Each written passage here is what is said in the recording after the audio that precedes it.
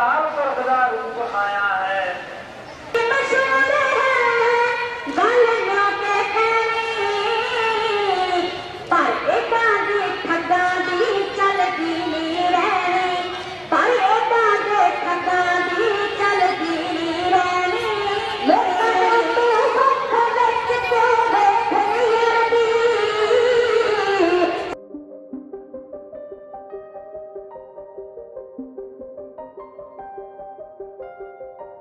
अम्बाला के गाँव पंजोखरा स्थित ऐतिहासिक गुरुद्वारा पंजोखरा साहिब अपनी लंगर व्यवस्था के लिए माना जाता है। इस ऐतिहासिक गुरुद्वारे में चल रहे लंगर में रोज़ाना पाँच से सात हज़ार श्रद्धालु लंगर करते हैं। गुरुद्वारा पंजोखरा साहिब के हेड ग्रंथी सरदार बूटा सिंह की माने तो किसी भी तरह की कभी भी हरियाणा व पंजाब में कोई आपदा आए तो इस गुरुद्वारे से लंगर सहित अन्य सेवाओं से हर तरह की पूर्ति की जाती है। इसी के साथ उनका कहना है कि हरियाणा और पंजाब के किसान जो केंद्र सरकार के तीन अध्यादेशों के खिलाफ संघर्ष कर रहे हैं और इसी संघर्ष के दौरान दिल्ली कूच कर गए हैं, उनके खान पान की व्यवस्था का जिम्मा भी शिरोमणि गुरुद्वारा प्रबंधक कमेटी के आदेश पर इस गुरुद्वारे से किया जा रहा है। उनका कहना है कि इससे पहले भी चाहे कोरोना संक्रमण काल हो या फिर सुनामी से पीड़ितों की सेवा की बात हो या कोई भी आपदा आई हो तो इस गुरुद्वारे ने बढ़ चढ़कर उसमें भाग लिया था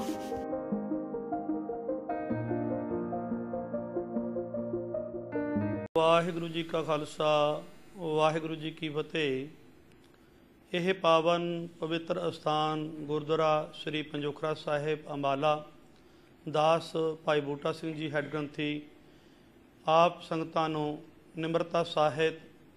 ਧੰਨ ਧੰਨ ਸਾਹਿਬ ਸ੍ਰੀ ਗੁਰੂ ਹਰਕ੍ਰਿਸ਼ਨ ਸਾਹਿਬ ਮਹਾਰਾਜ ਜੀ ਦੇ ਪਾਵਨ ਦਰਬਾਰ ਵੱਲੋਂ ਵਾਹਿਗੁਰੂ ਜੀ ਕਾ ਖਾਲਸਾ, ਵਾਹਿਗੁਰੂ ਜੀ ਕੀ ਫਤਿਹ।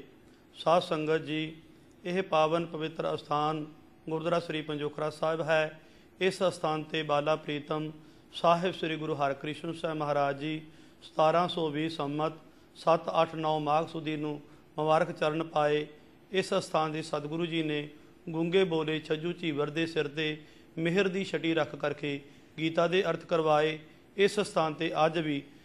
ਗੁਰੂ ਪਾਤਸ਼ਾਹ ਮਹਾਰਾਜ ਦੀ ਕਿਰਪਾ ਦੇ ਸਦਕਾ ਗੂੰਗੇ ਬੋਲੇ ਬੱਚੇ ਪਾਵਨ ਅੰਮ੍ਰਿਤ ਸਰੋਵਰ ਦੇ ਵਿੱਚ ਇਸ਼ਨਾਨ ਕਰਕੇ ਠੀਕ ਹੁੰਦੇ ਹਨ, ਬੋਲਣ ਦੀ ਸੁਣ ਦੀ ਦਾਤ ਪ੍ਰਾਪਤ ਹੁੰਦੀ ਹੈ ਅਤੇ ਸਵਰ ਪ੍ਰਕਾਰ ਦੇ ਦੁੱਖਾਂ, ਕਲੇਸ਼ਾਂ ਦਾ ਨਾਸ਼ ਹੁੰਦਾ ਹੈ। ਸਾਧ ਸੰਗਤ, ਆਪ ਸੰਗਤਾਂ ਨੂੰ ਦੱਸਿਆ ਜਾਂਦਾ ਹੈ ਕਿ ਇਸ ਸਥਾਨ ਤੇ 24 ਘੰਟੇ ਗੁਰੂ ਕਾ ਲੰਗਰ ਅਟੁੱਟ ਵਰਤਦਾ ਹੈ, ਜੋ ਅੱਜ ਸਾਡੇ ਕਿਸਾਨ ਭਾਈ ਜੋ ਸੰਘਰਸ਼ ਕਰ ਰਹੇ ਨੇ, ਜੋ ਦਿੱਲੀ ਦੇ ਅੰਦਰ ਜਾ ਕਰਕੇ ਧਰਨਾ ਮੁਜ਼ਾਹਰਾ ਦੇ ਕਰਕੇ ਹਿੰਦੁਸਤਾਨ ਦੀ ਗਵਰਨਮੈਂਟ ਨੂੰ ਆਪਣੇ ਇਹ ਜੋ ਤਿੰਨ ਕਾਨੂੰਨ ਬਣਾਏ ਗਏ ਹਨ, ਇਹਨਾਂ ਨੂੰ ਵਾਪਸ ਕਰਾਉਣ ਦੇ ਲਈ ਜਦੋਂ ਜਹਿਦ ਕਰ ਰਹੇ ਹਨ, ਉਹਨਾਂ ਕਾਨੂੰਨਾਂ ਨੂੰ ਵਾਪਸ ਕਰਾਉਣ ਵਾਸਤੇ ਸਾਰੇ ਹੀ ਹਿੰਦੁਸਤਾਨ ਦੇ ਕਿਸਾਨ ਵੀਰ ਉੱਥੇ ਇਕੱਤਰ ਹੋ ਰਹੇ ਹਨ ਤੇ ਉਹਨਾਂ ਦੀ ਸੇਵਾ ਵਾਸਤੇ ਸ਼੍ਰੋਮਣੀ ਗੁਰਦੁਆਰਾ ਪ੍ਰਬੰਧਕ ਕਮੇਟੀ ਸ੍ਰੀ ਅੰਮ੍ਰਿਤਸਰ ਸਾਹਿਬ ਵੱਲੋਂ ਪ੍ਰਧਾਨ ਸਾਹਿਬ ਬੀਬਾ ਜਗੀਰ ਕੌਰ ਜੀ ਵੱਲੋਂ ਆਦੇਸ਼ ਹੋਏ ਹਨ ਕਿ ਆਪ ਜੀ ਨੇ ਇਹਨਾਂ ਕਿਸਾਨ ਵੀਰਾਂ ਵਾਸਤੇ ਵੱਧ ਤੋਂ ਵੱਧ ਲੰਗਰ ਦੀ ਸੇਵਾ ਪਹੁੰਚਾਉਣੀ ਹੈ। ਸੋ ਜਿਸ ਦਿਨ ਤੋਂ ਵੀ ਕਿਸਾਨ ਵੀਰ 25 ਤਰੀਕ ਤੋਂ ਇਸ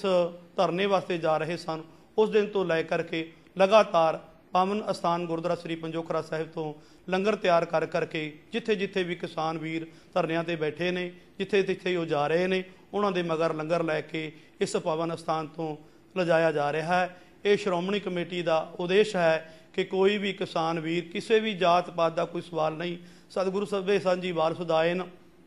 ਕੋਈ ਨਾ ਦਿਸੈ ਬਾਹਰਾ ਜੀ ਦੇ ਮਾਵਾਕ ਅਨੁਸਾਰ। ਗੁਰੂ ਨਾਨਕ ਪਾਤਸ਼ਾਹ ਮਹਾਰਾਜ ਜੀ ਨੇ ਜਿਹੜਾ 20 ਰੁਪਈਆਂ ਦਾ ਲੰਗਰ ਚਲਾਇਆ ਸੀ, ਉਹ ਅੱਜ ਵੀ ਗੁਰੂ ਦੀ ਕਿਰਪਾ ਦੇ ਸਦਕਾ ਬਿਨਾਂ ਭੇਦਭਾਵ ਤੋਂ ਇਹ ਲੰਗਰ ਚੱਲ ਰਿਹਾ ਹੈ ਤੇ ਜਿੱਥੇ ਵੀ ਕੋਈ ਜ਼ਰੂਰਤ ਪੈਂਦੀ ਹੈ, ਉੱਥੇ ਹੀ ਇਹ ਲੰਗਰ ਪਹੁੰਚਾਇਆ ਜਾਂਦਾ ਹੈ। ਅੱਜ ਸੰਘਰਸ਼ ਕਰ ਰਹੇ ਕਿਸਾਨ ਵੀਰਾਂ ਵਾਸਤੇ। ਇਸ ਤੋਂ ਪਹਿਲਾਂ ਵੀ ਸੁਨਾਮੀ ਦੀਆਂ ਲਹਿਰਾਂ ਆਈਆਂ ਜਾਂ ਹੋਰ ਵੀ ਕਿਤੇ ਕੋਈ ਮਹਾਮਾਰੀ ਫੈਲੀ, ਉੱਥੇ ਵੀ ਜਦੋਂ ਪਿੱਛੇ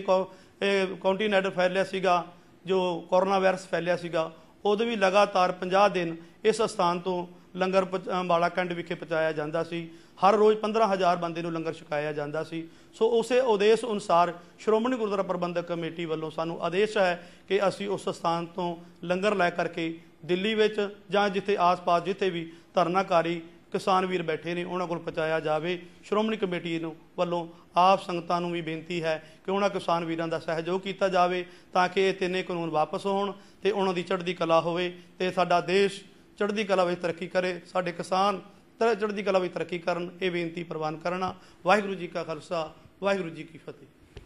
ताज़ा अपडेट्स व बड़ी खबरों के लिए सब्सक्राइब करें आज प्रकाश टीवी और बेल आइकन दबाना न भूलें